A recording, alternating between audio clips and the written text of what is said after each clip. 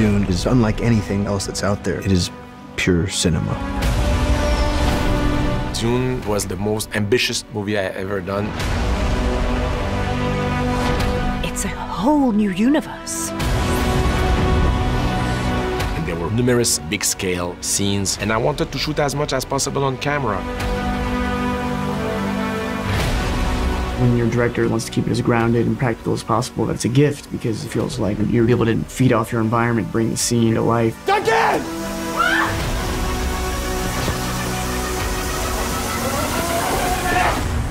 I think people are going to be blown away.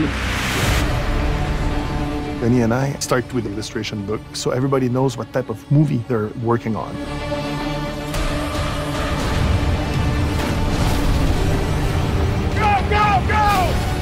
Patrice's artwork was incredibly influential. It has a size and the scale that we were after. So we built sets to the edges of the stages.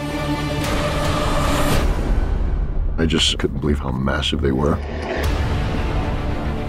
I walked onto the stages, my jaw dropped. Action! The sets are exquisite.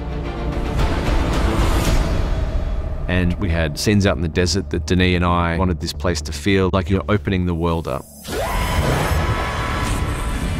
Because there's this amazing, crazy landscape that you will never believe that they are real. Dune is a movie about nature, and it was very important for me to be as close as possible. He knows exactly what he wants. He's loved this book since he was 14. He's had this movie in his mind his whole life.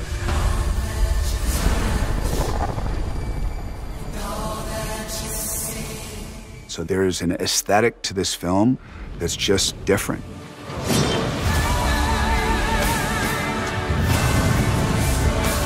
Dune, for me, is a love letter to the big screen, and that's the way it was dreamed, that's the way it was designed, that's the way it was achieved, and that's the way I hope people will experience it.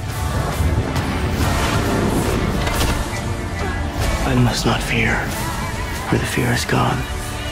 Only I will remain.